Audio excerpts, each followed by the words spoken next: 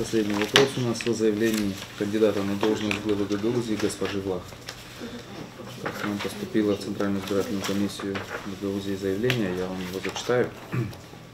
Значит, исходя из смысла и содержания статьи 54 закона от ООО Гагаузия выбора главы Гагаузии, э, просим вас разъяснить в письменной форме по поводу предвыборной агитации в день, предшествующий дню выборов, то есть 21 марта 2015 года. Статья 54 у нас э, регулирует, э, норма данная регулирует э, именно агитацию, скажем так, кандидатов. Здесь вопрос имеется в виду про дня тишины, который у нас, в принципе, в законе не указан. В Кодексе Республики Молдова о выборах действительно присутствует такая норма, то есть вы знаете, у них есть день тишины в субботу перед, скажем так, непосредственно датой избирательного процесса. У нас э, такой нормы нет. Соответственно, вот дня тишины у нас э, на выборах главы Гагаузия 22 марта не будет.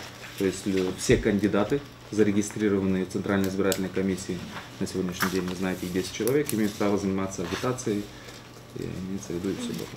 Не согласен. Любой агитации? Да.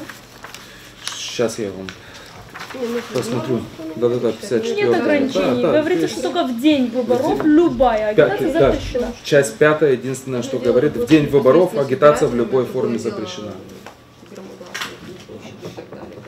Насколько я знаю, из курса теории государства и права, еще университетского, если мне память не изменяет, то, что это называется пробел в праве. Правильно? То есть мы Здесь, по-моему, несколько юристов есть, я просто не юрист, но учил. и есть региональное законодательство, есть республиканское законодательство. Значит, э, республиканское законодательство по иерархии выше. То, что не прописано в местном законе, нужно руководствоваться республиканским законом. Аналогия законодательства или аналогия права применить.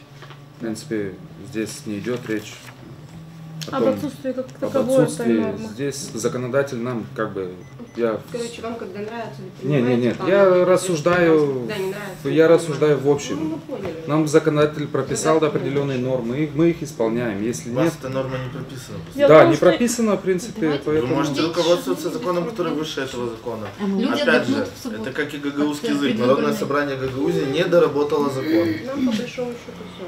Мы, в принципе, в свою очередь, как Центральная избирательная комиссия, можем потом дать рекомендацию, к примеру, да, после завершения избирательного процесса Народному собранию о том, чтобы они прописали данную норму. То есть не проблема, она будет ис- исполняться впредь.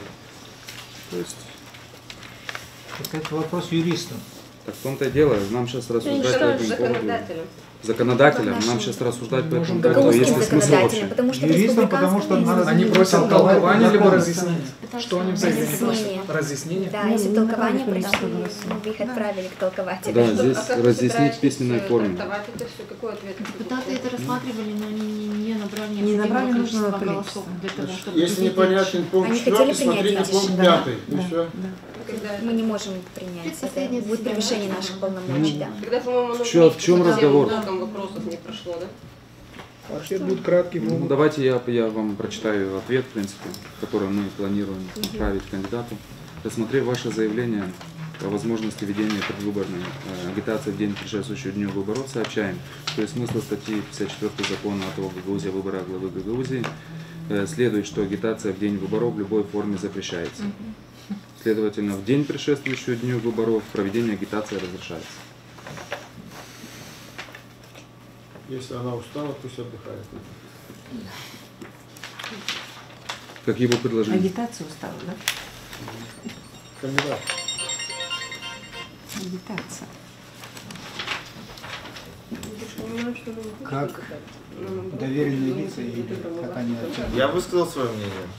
Я считаю, что в данной ситуации нужно руководствоваться республиканским законом. То, что не указано в региональном законе, это все равно, что постановление примарии, которое противоречит республиканскому закону, и, ну, потому что в нем есть какой-то нюанс, который забыли указать.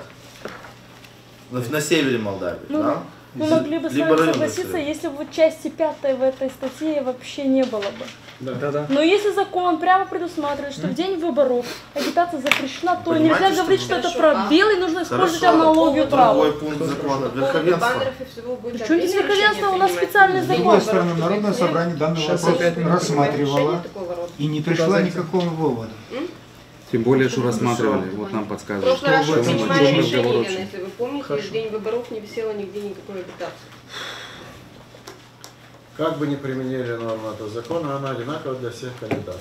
Да. Поэтому все находятся в одинаковом положении. В том-то Если разрешено э, агитировать, значит для всех.